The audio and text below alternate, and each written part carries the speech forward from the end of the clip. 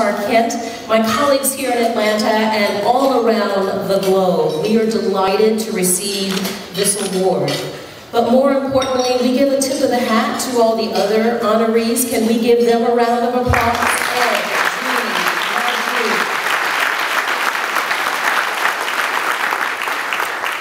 We are certainly proud of the New Look Foundation. When I listen to the results, 100% graduation rates, are you kidding me? I think the state of Georgia, the country, and perhaps the world has a lot to learn from this foundation. We are affirmed when we hear those results. And when we see the young people come to the stage who have actually gone through the program, benefited and come through on the other side, I'm just glad I already got my job at the Coca-Cola Company.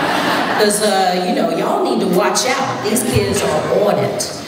We are 127 years old, and as long as the Coca-Cola Company and system has been in business, we have given back. We want to give to those organizations where we see intense impact.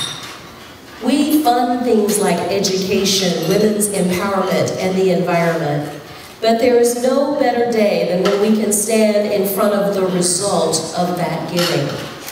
It has been said that you cannot be what you cannot see.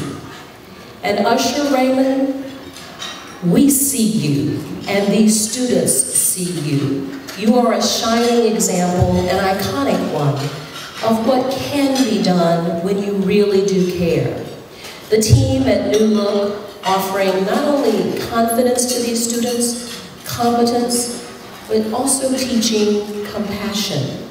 This is very compelling, not only for the Coca-Cola Company and all of our colleagues, but should be inspiring to us all. So we are grateful that we have the opportunity to receive the award, but this is just part of our responsibility, an opportunity to serve everywhere we operate, not just the opportunity, but recognition of an obligation to do so. So I'll leave you with this quote from one of our chairmen, one of our legendary chairmen, Roberto Goizueta. And what he said is, we must all by deed and example, create the communities that we want to live in. And so I want to thank the New Look Foundation and all of you for the support that you have given this community, making it stronger and more sustainable, one community and one person at a time. Thank you on behalf of the